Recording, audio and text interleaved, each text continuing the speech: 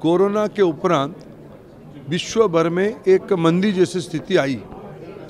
Officials काम करने के लिए नहीं आ पाए। इसके लिए भारत से जो स्टूडेंट्स जो वर्कफोर्स ऑस्ट्रेलिया जा रहे थे, उनको वीसा देने में थोड़ा स्लो हो गई थी प्रोसेस जब पिछले साल मध्यावधि में क्वाड की फोरम पे हमारे माननीय प्रधानमंत्री नरेंद्र मोदी जी, ऑस्ट्रेलिया की माननीय प्रधानमंत्री जी से चर्चा किए।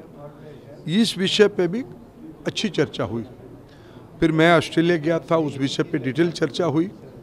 हमारे सहयोगी आदरणीय जयशन क्लेयर जी ने हमको आश्वस्त किया था कि इस विषय पे उन्होंने ज़्यादा मैन पावर लगाएँगे, ज़्यादा प्रोसेस को ईज डेवलप करेंगे, जिसके कारण वीसा जल्दी लोगों को मिले। पिछले पाँच छः महीने में लगभग तीन चार लाख वीसा का पेंडेंसी घट गई। और एक साइजेबल नंबर है। आज भी उसकी चर्चा हुई बायोलेटरल फोरम में।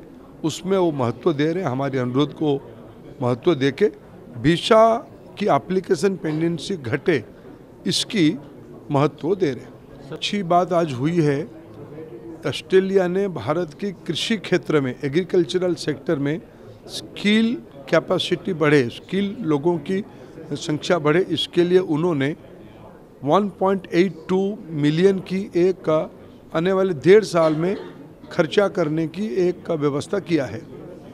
ऑस्ट्रेलियन यूनिवर्सिटी और भारत की इंस्टीट्यूशंस के साथ मिलके नया कोर्स बनाना ट्रेनिंग ट्रेनर्स की करना, उसकी कैपेसिटी बढ़ाना, उस पर खर्चा किया जाएगा, जिसके कारण भारत की जो एक emerging area new agri agri infrastructure है।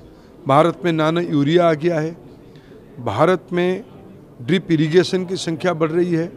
भारत में ड्रोन तेज़ी से एग्री इंफ्रास्ट्रक्चर में घुस रहा है।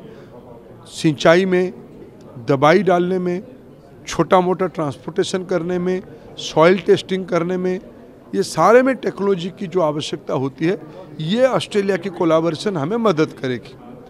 उससे लेके skill development vocational training school higher education deep tech research ये सारे इलाका में ऑस्ट्रेलिया के साथ एक होलिस्टिक अंडरस्टैंडिंग हमारी बढ़ रही है।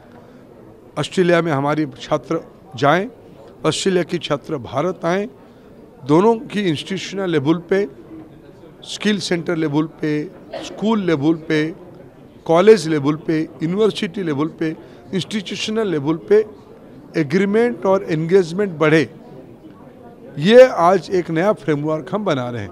हम बहुत उत्साहित हैं। दोनों देश, उन्होंने भी भारत की राष्ट्रीय शिक्षा नीति को अप्रिशिएट किया है, वो भी मानते हैं। विश्व की ग्लोबल अर्थनीति में एक इंजन के रूप में काम कर सकता है। ऐसे सब अच्छी चर्चा हुई है।